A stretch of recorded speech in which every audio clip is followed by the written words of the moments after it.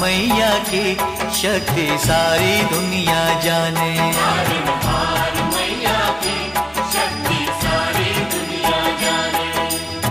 करके इसका पूजन तर गए, करके इसका पूजन तर गए, लाखों भक्त दीवाने, सच्ची बात है।